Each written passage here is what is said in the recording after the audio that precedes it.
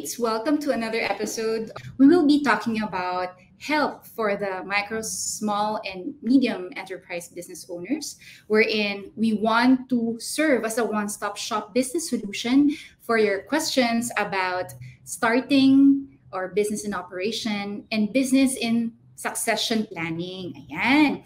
And this is Coach Ayet, your business builder mentor um, from CEO Insights Asia, and I'm also the COO of XDT Group of Companies.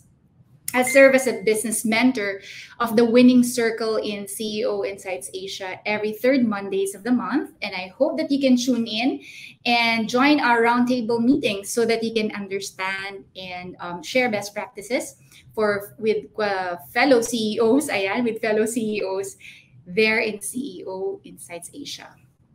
And today, I would like to bring value add services to you guys who are listening. Hi sa mga ka-FA, mga fellow business owners, and families in business who are listening to us right now.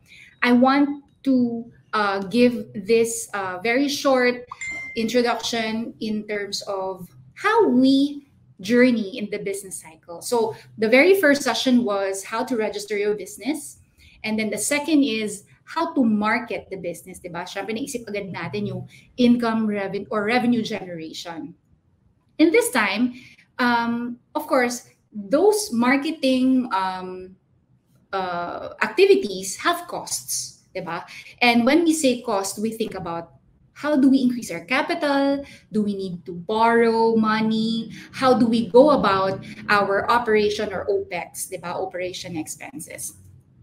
And um, with with say uh, with that key insight from last session, we said that marketing and branding or personal branding um, can be a cost center, especially if you do not do it right the first time. Ibig sabihin, if nandoon tayo sa DIY, wala nang problema doon. Kasi, di ba, everybody is starting, um, they have their migration to the digital platform, and it is very important to uh, be seen online. However, if there are a lot of tests yan, and trial, that cost us money. And as a business owner, we wanted na more than the awareness or yung reach ng ating businesses, whether you are in service, retail, F&B, etc., kailangan mo mabalik yon. And in terms of costs, we also uh, we are also made aware that it has to be stipulated in our financial statements. Okay? So ano-ano ba yung mga cost centers sa business? So these are the few. Um, you have your cost of goods sales, di ba? Uh, cost of service, your operation expenses. Yan yung mga nakikita nyo doon sa expense part of your financial statement. Cost of sales, cost of delivery if you are in retail. And we have our non-op OPEX. We are also we also have our accrued and our prepaid expenses. And um, usually we don't uh, list those things. Kaya kaya nagmambo jumbo yung ating ano no, yung ating uh, financial statements, hindi natin nahihiwala yung business aspect sa ating personal. And being a micro, for example, micro, small business enter, uh, group or business, it's sometimes kinakaligtaan na yun because we look forward to how do we reach people, etc. Today, we will know how to uh, support the business because I uh, I invited somebody who has been in this type of business, what we call the lending and microfinancing. Ayan. So uh, this person is a is a good friend and he helped a lot of people in terms of their personal cash loans and then there are also some who are um, in business loans so he served the multinational companies for more than uh, five years as a part of the support team or the workforce management. And he has been operating MCF. Ayan. Lalaman natin later kung ano MCF for more for more than a decade now. And ngayong panahon ng pandemic, alam natin na marami tayong gastusin, kaunti ang pumapasok. So, naisip ko na imbitahan ito. welcome on stage Louis Salapare. Let's give him a hand. Hi, Louis. Hi. Hi. Hello. Good evening. Ayan. Um, yes, mabuti, mabuti. Thank you for um, uh, making time for for us uh, on, on this session here in Bounce Back Network. So uh, I've mentioned a while ago na top of mind if you are in business, you need capital, naiisip din natin ng uh, funding, lending, etc. Can you tell us more about what you do? What is MCF? Ayan, what is MCF? All right. So basically, MCF is a lending uh, company, and we've been here in the business since 2010. So what we do is, yun, uh, as you mentioned, we cater to the needs of the of the consumers uh, primarily in the call center industry. Kasi doon ako galing so Ah, doon na yung market. So might as well grow the business there. So in terms of capital of course syempre sa business naman eh, uh, for me siguro you really need to save para magkaroon ka ng capital so Yep. at least syempre for me uh, ang maganda kasi doon if if nandun ka sa optimistic side, kapag lumago yung business, mas mas makakapag-expand ka if you don't have any debts. So kaya kaya what we do, what we practice in the business is that uh, in order for you to build your own business, you need to save first. Kasi wag, wag, you don't rely sa mga sa mga raising capital without really having knowledge do sa business na papasukin mo kasi medyo medyo hindi maganda yung yung path kapag in case nag-flop yung business in the next couple of years. Imagine Right. nalugi this tapos meron pang utang na binabayaran, may naiwan pang debts. Exactly. Oh, Wherein if the capital came from your savings, malugi man yan bukas, you don't have any remorse na may meron pa akong obligation na babayaran in the next 24 months or 36 months depende sa tenor ng loan. As in you can you can move on na bukasan you can you can siguro save save save again and uh, learn from the mistakes kung bakit nalugi yung business. And from there syempre yun start ulit ng panibagong business. The only siguro uh, ito kasama part na rin to ng mga naturo sa financial planning you only Ah. borrow capital if Right. there's already a good track record ng business. Yun, meron akong gustong tanungin Yes. dyan. Um, according to what you mentioned, diba, in a business, you have to have uh, a certain capital. And there are a lot of people who are saying na, can you really start with zero capital, Louis? Parang, um, I wish to also do that and uh, recommend that. But based from experience, what what is your take? What is your take on that? Coming from MCF, siguro ano, uh, we are not believer of something na you can start with zero capital. Especially for for lending business, at least kahit meron ka man lang 5,000 or 10,000 to start the business, pwede na yun. Pero practically, Right. kapag zero, parang ano eh, parang medyo, medyo mahirap yun. Kasi una sa lahat, may mga expenses ka na agad, outright, like Mm. yung for the licenses, for for yung registration.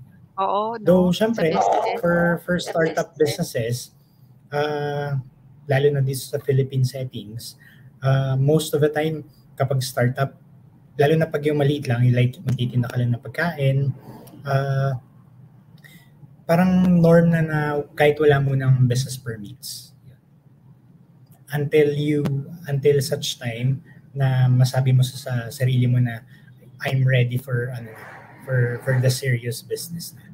Exactly. There, And when pwede ka nang magpalakad ng, ng mga business permits, ng mga Mhm. documents.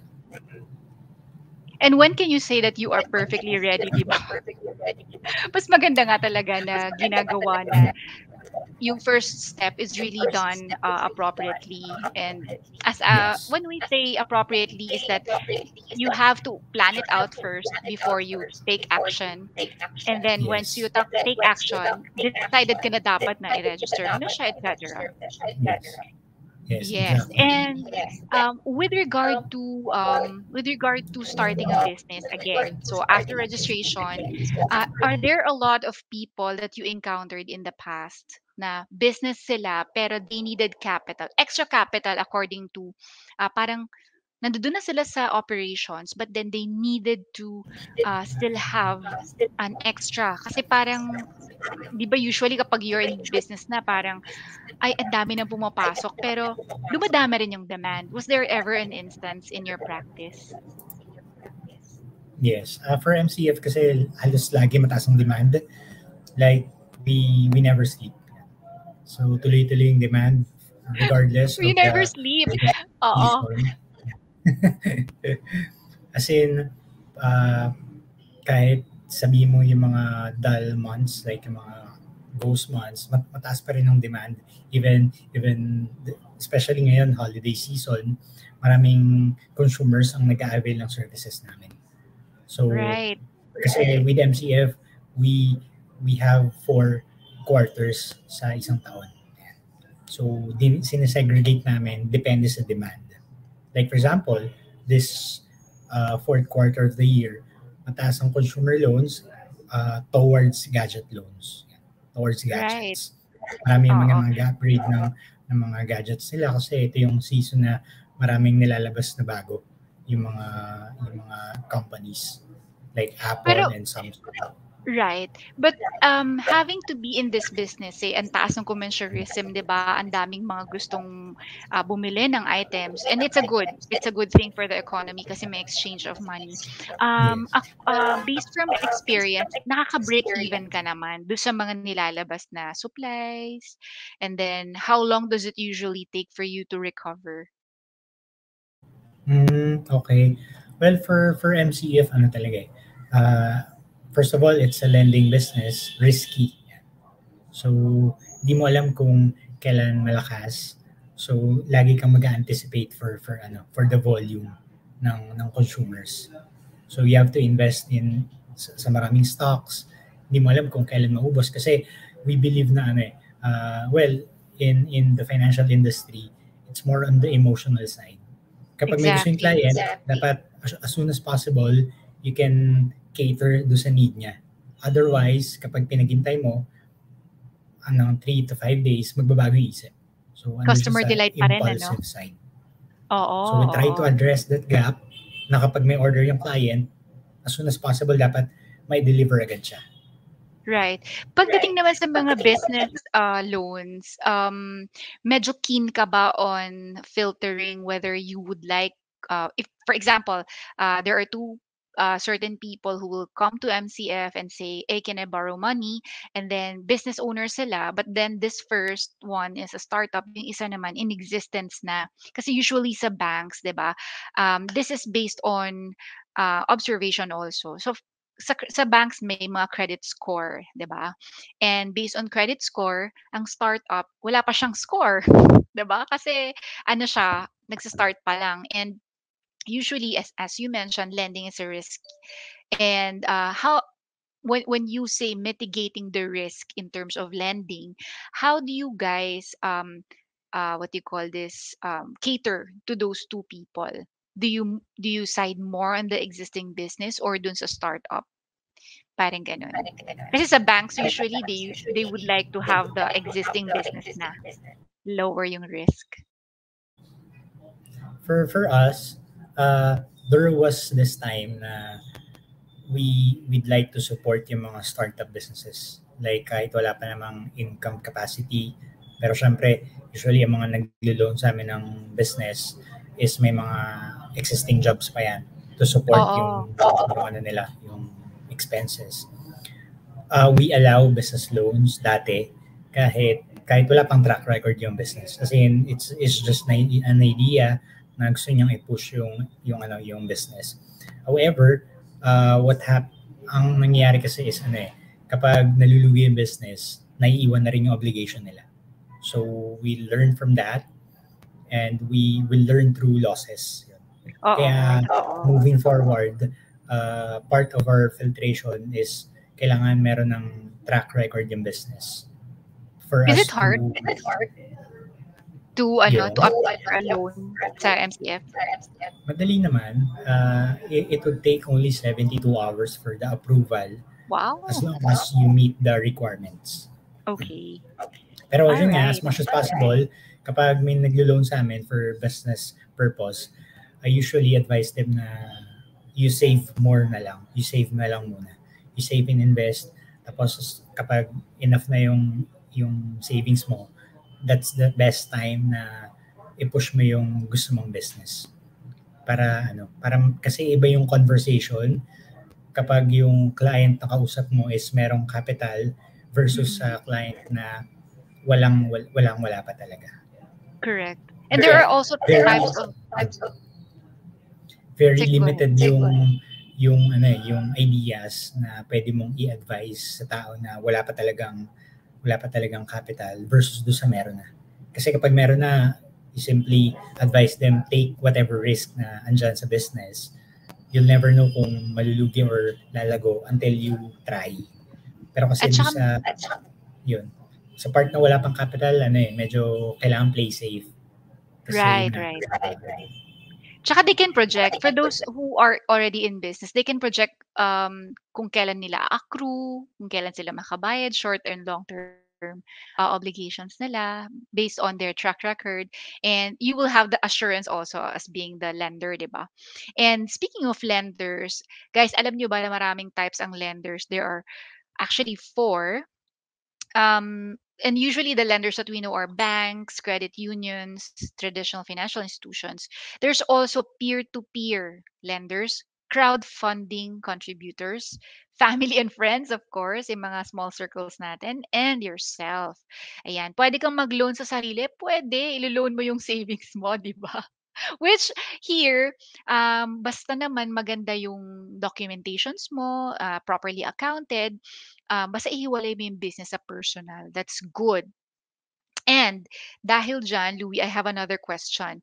Um, makakabuti ba ang borrowing money at all, like in general, in its entirety, ng isang sa isang business. Um, maybe you can tell us something about uh, a client or ikaw personally, yung naging challenges mo aside from yun nga parang nung nag-risk kayo tapos hindi hindi nabayaran agad or hindi nabayaran at all. Meron bang mga ganong instances? Yes, uh, well, part of part of business naman is eh, having risk. So, for example, sa restaurant, hindi naman lahat ng ng food mabebenta in a day. Oo. Yung mga Spoilage natira, rate, no? Yes, tatapon na. So, like in like in any other businesses, may kanya-kanyang risk.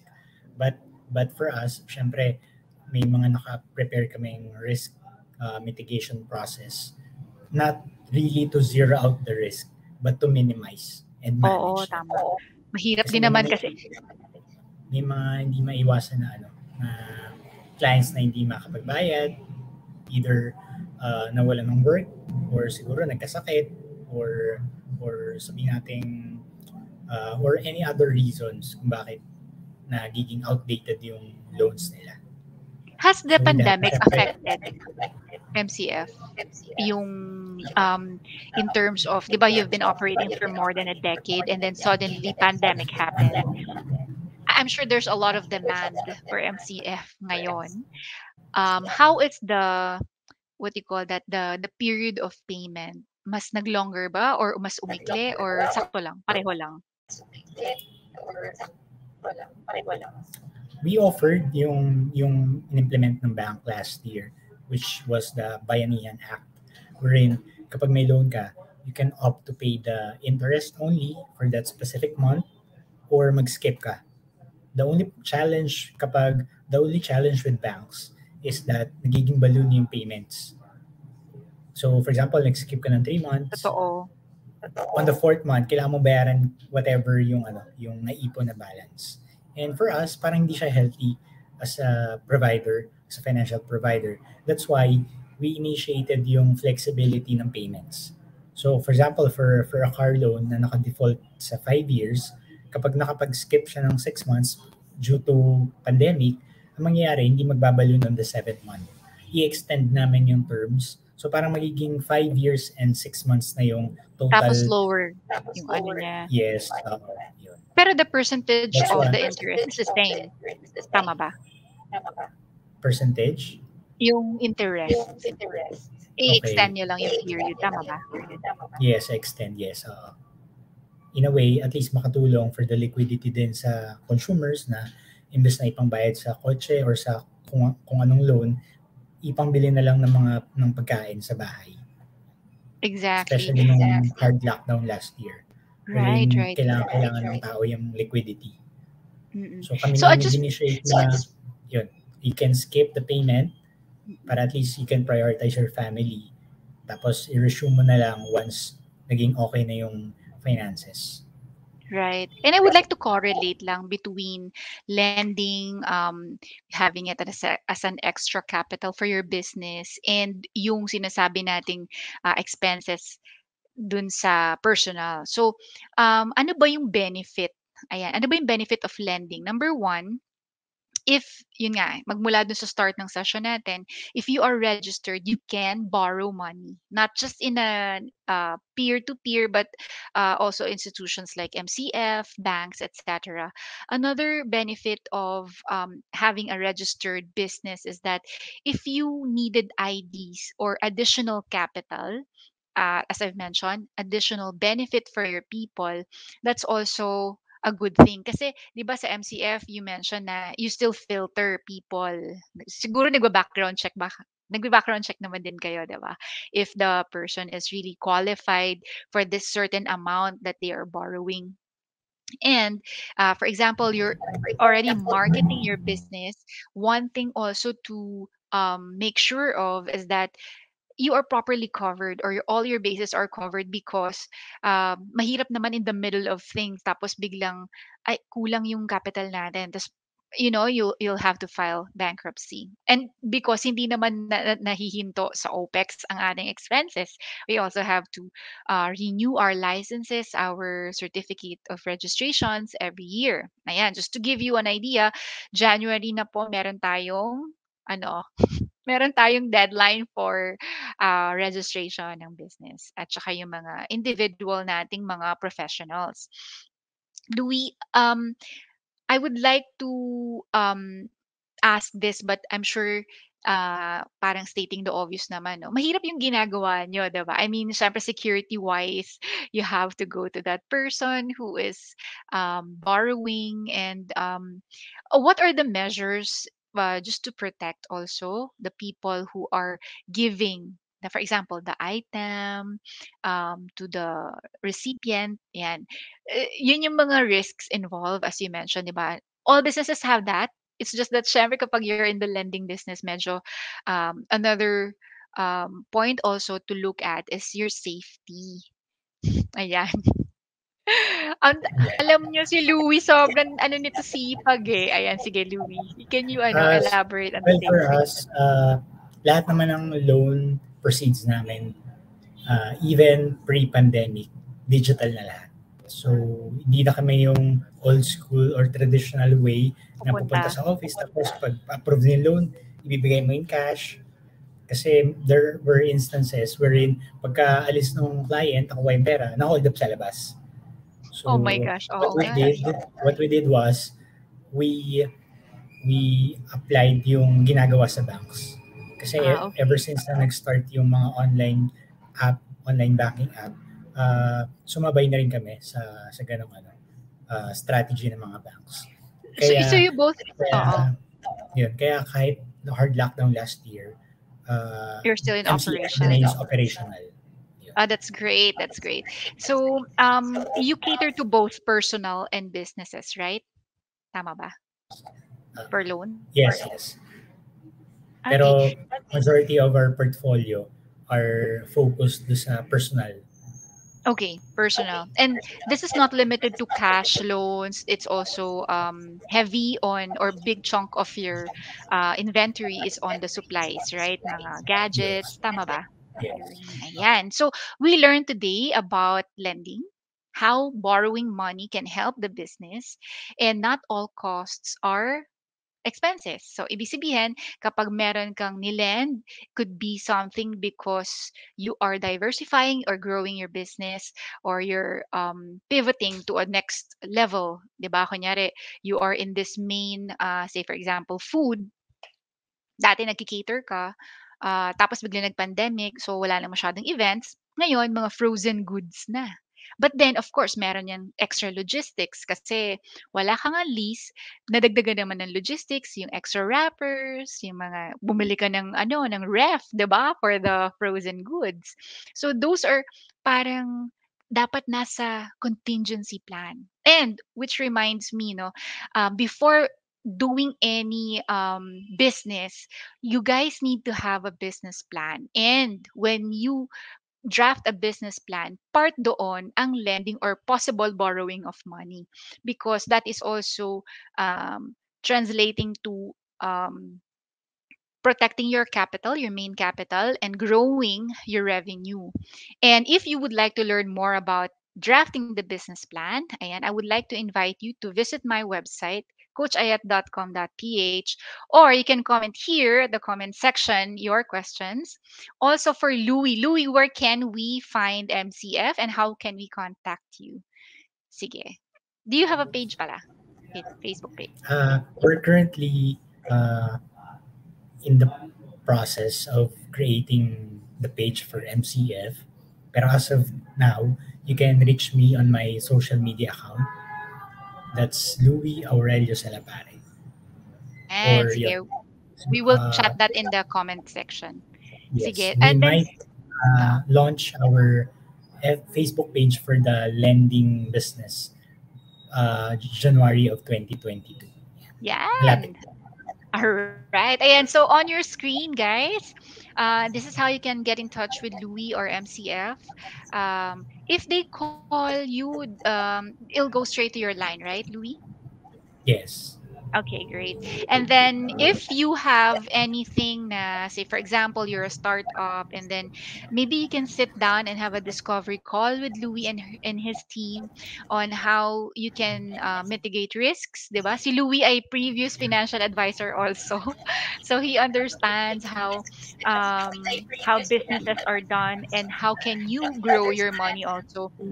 And more importantly, because he is now in the lending business, which is helping many people and startups, especially how to bounce back from this pandemic. Um, contact Louis at this number and uh, or uh, yeah, check their page in Facebook uh, sometime next year. And then, if you have any questions in the comment section, I will be answering those for you. And if you are going to say start and probably uh, magbo-borrow ba ako or magsa-start na ba ako? Papaano ko ba gagawin 'to? Um, contact me at coachayat.com.ph. Ayan, ang aking key insights, Louis, uh, tonight is that um, you mentioned something about risks. And sabi nga, tama naman, if you are in business, hindi mo iwasan ang risk. Actually, paglabas mo pala ng bahay, may risk na eh. Pagkagising mo sa umaga, may risk na. But make sure that your risks are calculate, um, are calculated so that um, if it's calculated, you can project. Okay. And if you have problems, say, uh, that is ka- kind of affecting or nagsuswot analysis kayo, strength, weakness, opportunity, and threat on, say, your personal or on your, in your business, mas maganda siyang dino-document. Siguro, advice ko lang sa mga gustong mag-put up ng business is you really have to plan and uh, follow yung yung gusto mo. Uh, you may not be in the full-time position na mag-manage ng business, but that's okay. You have to be patient and trust the process. It's okay yeah. na pagsabihin yung oh. day job saka yung yung side hustle, yung business. Kasi uh, eventually, dadating yung panahon na yung income mo from from your business can already sustain your your expenses na pwede ka nang umalis sa day job And once again, this has been Coach Ayet with Louis. Thank you so much, MCF. Ayan, mga ka-bizmates, I hope that you stay safe. Have a safe holiday. And I wish you a great 2022. And may we all have a secured and a happy lifestyle. See ya. Thank you, everyone.